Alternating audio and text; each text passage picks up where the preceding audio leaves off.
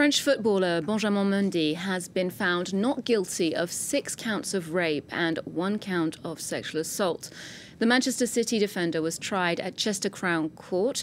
Mendy had been suspended from professional football since August of 2021 when he was arrested. Well, for more on that story, I'm joined by sports editor Jean-Emile Jammine. Hi, Jean-Emile.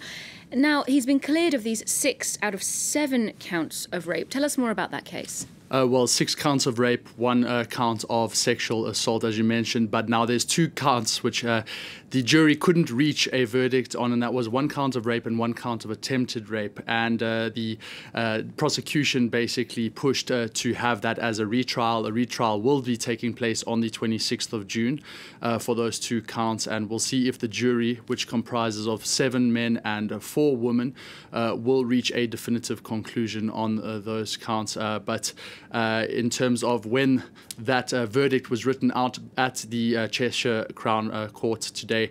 Benjamin Mendy, he could see him, uh, he put his face in his hands.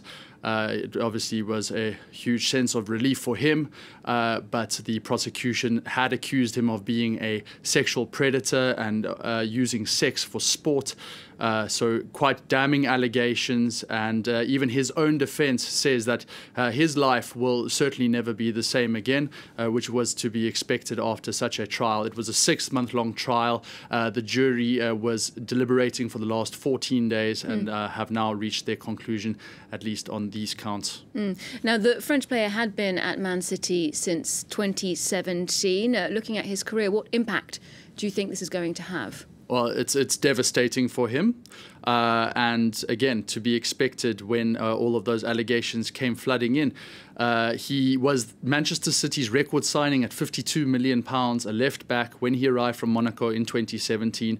Played his last game on the 15th of August 2021, and just days later he was arrested uh, on those counts. So. Uh, in terms of where this puts him and what Manchester City will do. They they've released a statement today saying they've noted the charges, they've noted the allegations, and they've noted the uh, verdict by the uh, prosecution that uh, those charges have been dropped and that there has a ret- that a retrial will be taking place, but they cannot comment further at this time.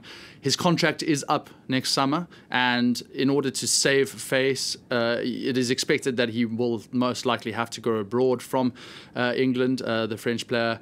Um, and uh, it obviously puts Manchester City in quite a tough position. Uh, I, I don't know what they will be basically doing from here. It's it's quite an unprecedented situation for mm. them, certainly. But I'm sure they will be under pressure to send uh, some sort of message. Jean-Emile, thank you very much.